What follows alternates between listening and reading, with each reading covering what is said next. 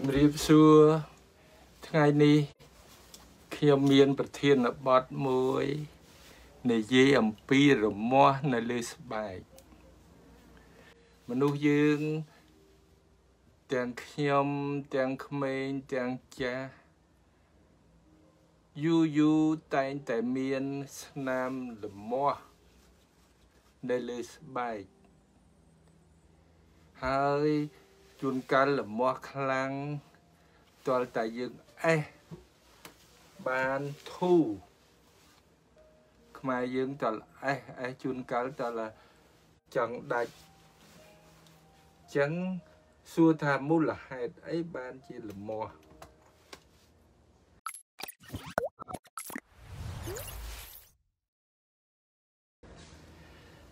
នៅពេលដែលមកមើលជំងឺ យើងត្រូវសួរលមាស់នឹងវាយូរឬក៏ឆាប់វាកើតឡើងភ្លាមភ្លាមឬក៏ដោយសារញ៉ាំអីខុសឬក៏ប៉ះរបស់អីសត្វតិចប៉ះអីរោលយើងត្រូវសួរ លមាស់ពេញខ្លួនឬក៏លមាស់តែម្ដុំម្ដុំហើយយើងត្រូវមើលថាលមាស់ហ្នឹងវាចេញវិរបៀបម៉េចអ្នកខ្លះចេញអុចអុចអុចអុចអុចអ្នកខ្លះចេញផ្ទាំងផ្ទាំងផ្ទាំងផ្ទាំងផ្ទាំងពេញខ្លួន ត្រូវសួរមានក្តៅខ្លួនឬអត់អានឹងសំខាន់ណាស់ពីព្រោះលមាស់នៅលើស្បែកអាចកើតឡើងនៅខាងខាងក្រៅឬក៏មកពីជំងឺ ទូទៅពីក្នុងអញ្ចឹងយើងត្រូវសួរបញ្ជាក់ដើម្បីយើងឈានទៅមើលឈាមឬក៏យើងយកកែវឆ្លោះមើលឲ្យច្បាស់អញ្ចឹងលមាស់នឹងមកពីសាយកាលណាយើងឃើញច្បាស់ យើងឲ្យឆ្នាំត្រូវហើយជាចឹងខ្ញុំលើកមួយម្ដងមួយម្ដងនៃការលមាស់ស្បែកលមាស់ទី1យើងហៅថាចេញរោលដោយ allergy បានន័យថាយើងញ៉ាំអីខុសដូចជាអ្នកខ្លះមិនទទួលគ្រឿងសមុទ្រគ្រឿងអីខ្លះ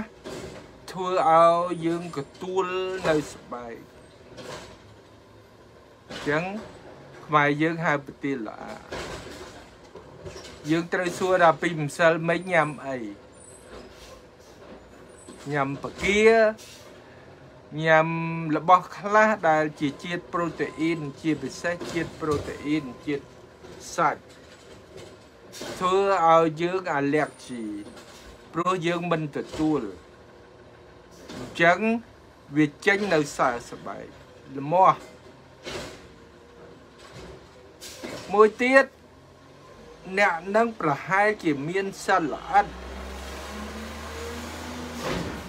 សិតល្អិត កាលណាវាចេញជាតិពុលវាមកធ្វើឲ្យលមាស់អញ្ចឹងលមាស់ហ្នឹងគេហៅថា allergy ពាក្យបារាំងគេហៅ urticaria មកពីគ្រឿងសំណង់មកពីលក់ពូកលក់របស់របរអីខ្លះ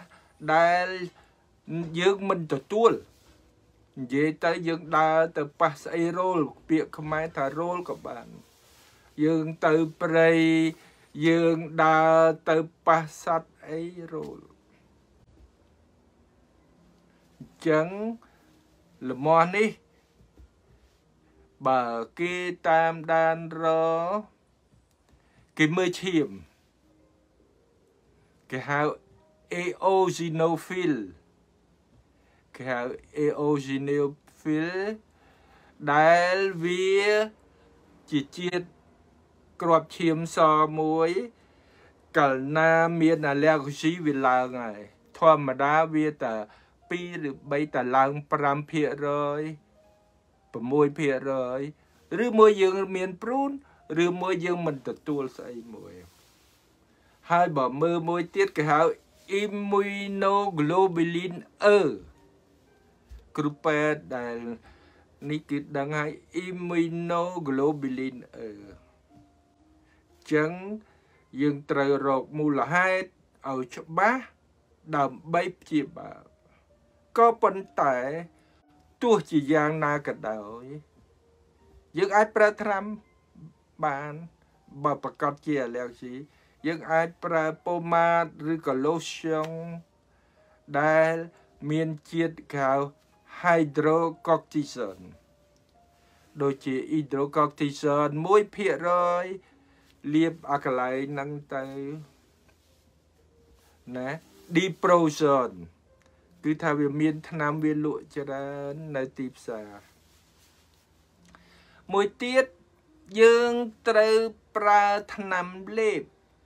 ហៅ antihistaminic ហាស់អង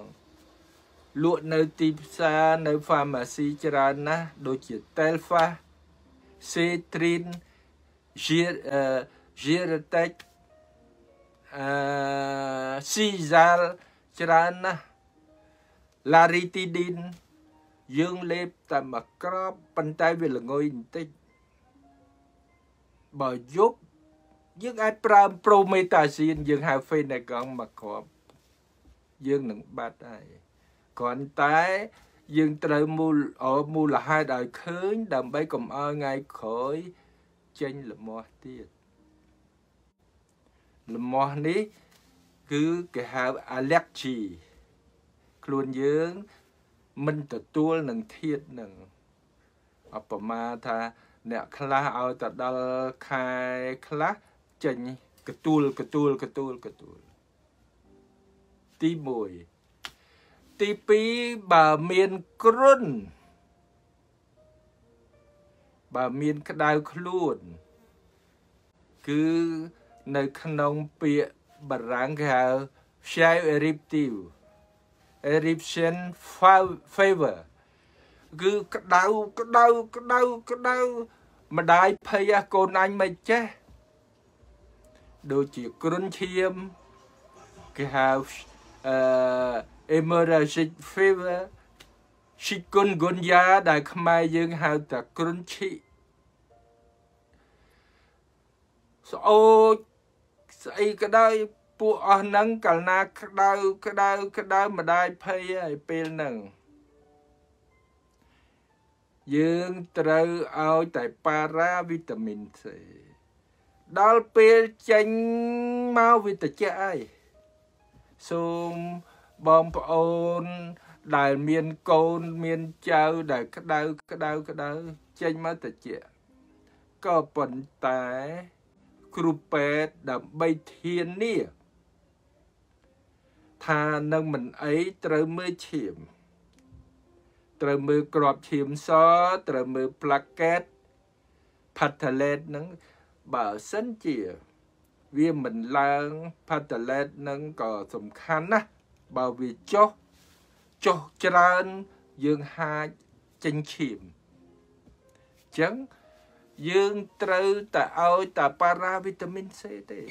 ហើយធានាប្រាប់ម្ដាយមើលឈាម យើងត្រូវនិយាយថាមកអីទេចាំមើល4 5ថ្ងៃបើចេញមកតិចបើប៉ុន្តែបើចេញមកមិនតិចមានក្អកមានហត់មានអីអាហ្នឹងគឺថាមានមេរោគចូលទៅទៀត ទៅសួតទឹកខ្មែរយើងចំណាំថាទឹកចូលសួតវាមាន complication គឺថាវាមានផលវិបាកវាឈឺដល់សួតដោយសារភ្នើមកកកអញ្ចឹងយើងត្រូវឲ្យថ្នាំផ្សះយើងត្រូវថតសួតចឹងលមាស់ហ្នឹងចេញអុចអុចអុចអស់ហ្នឹងបងប្អូន ដែលជាគ្រូពេទ្យដែលនៅតាមខេត្តអីត្រូវមើល កុំកុំអាលនេះគឺថាតើក្តៅខ្លួនអត់តើមានចេញកទួលអត់យើងត្រូវមើលនឹងពីរលមាស់មួយទៀតគេហៅអាត់អាត់នឹងគឺថា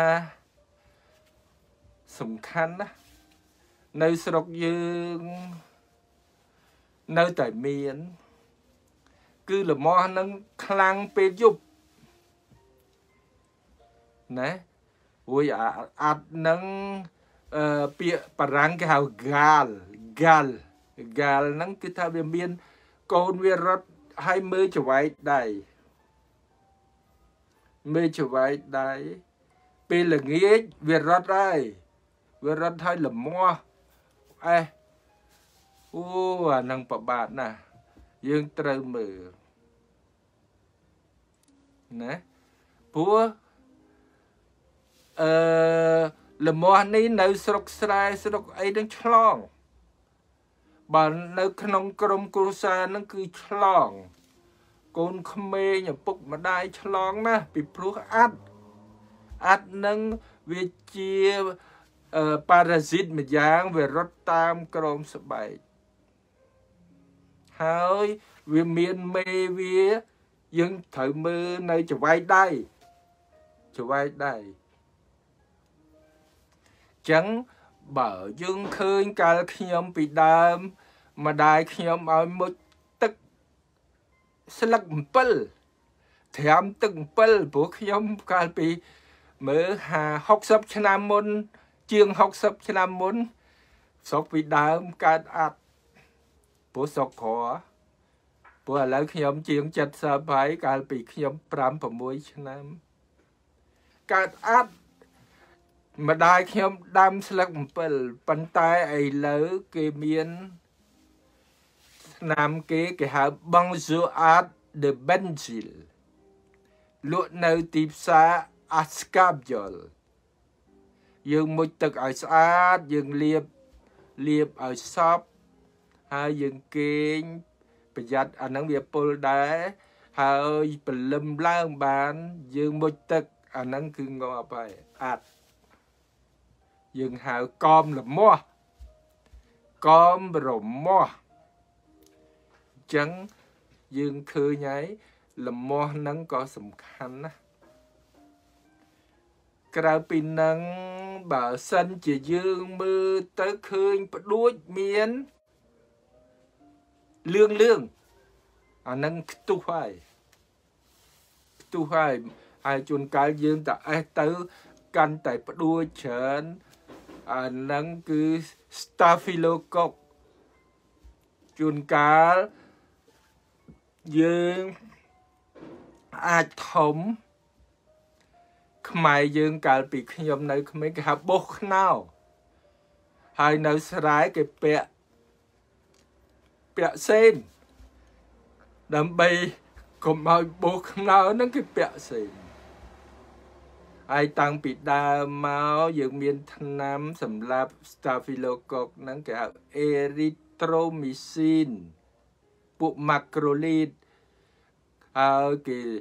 បើសិនជាមានខ្ទុះខ្លះហ្នឹងគេជួសឲ្យច្បាច់ខ្ទុះចេញហើយគេលេបទៅវាជាហើយខៅបោះ មួយទៀតផ្សិតកើតស្រែង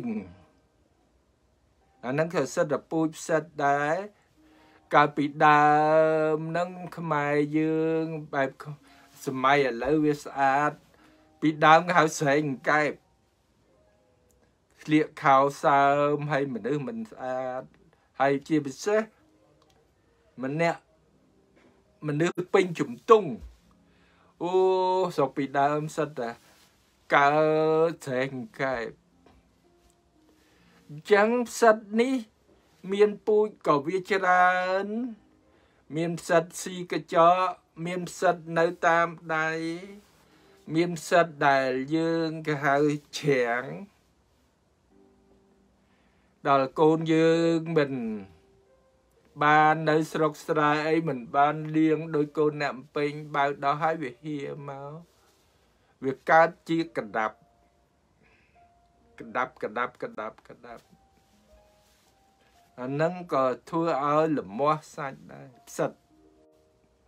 ផ្សិតគេហៅជំងឺ mycose mycose ណា fungic គឺគេហៅពាក្យបច្ចេកទេសគេហៅ នៅតាមស្បែកអញ្ចឹងយើងត្រូវដឹងហើយថ្នាំវាមានដាក់តារាំងនីស្តាទីននីស្តាទីនយើងទៅផ្សារទៅ pharmacy គេលក់ឲ្យមានពម៉ាតកូនក្មេងយកមកលាបទៅបាត់ហើយហើយយើងថែសម្អាតកូនយើងទៅផ្សិត អញ្ចឹងជំងឺផ្សិតនេះនៅលើសើស្បែកក៏ឲ្យលមាស់ហើយមួយទៀតយើងហៅ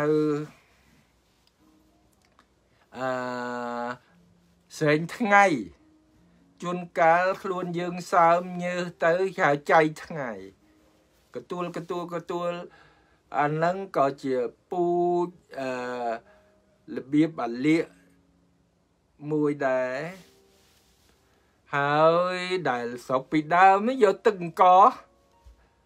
ចាស់ចាំងខ្ញុំនៅពីដើមបើកទួលកទួលលមាស់លមាស់ហ្នឹងយកទឹកអង្ករមកលាប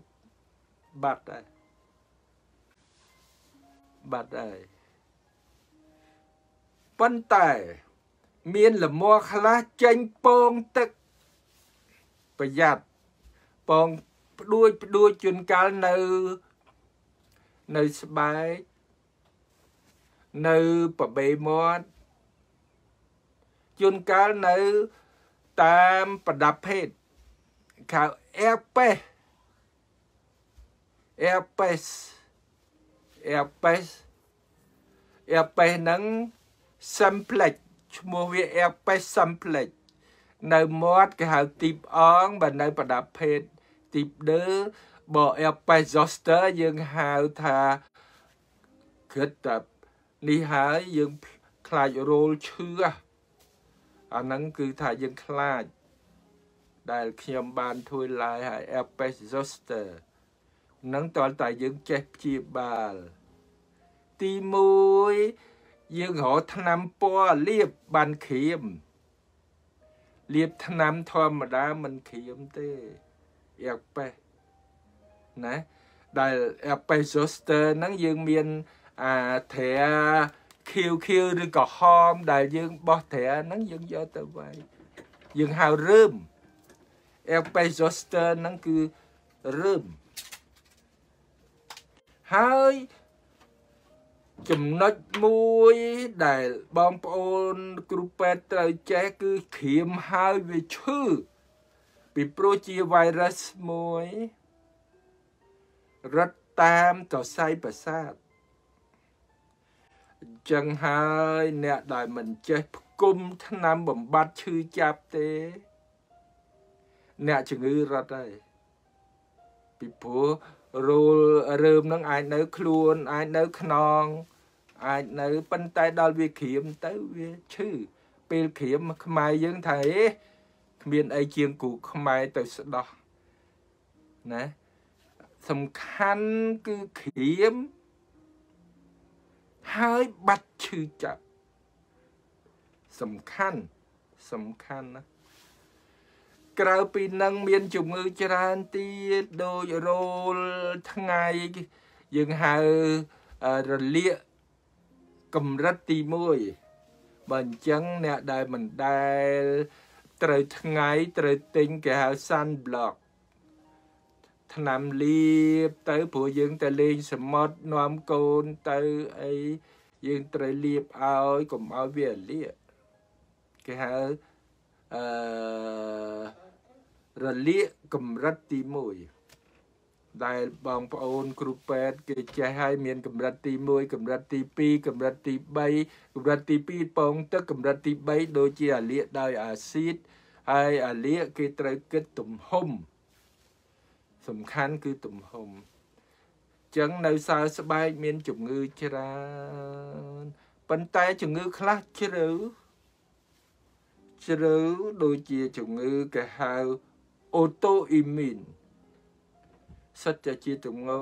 ជ្រៅដូចជាតអកយើងហៅតអកដូចជាជំងឺច្រើនទៀតដូចជាហៅឃ្លុងលពៅ សិតតែជាជំងឺលំបាកគេហៅ autoimmune អញ្ចឹងគ្រូពេទ្យដែលនៅជំងឺទូទៅប្រជាជន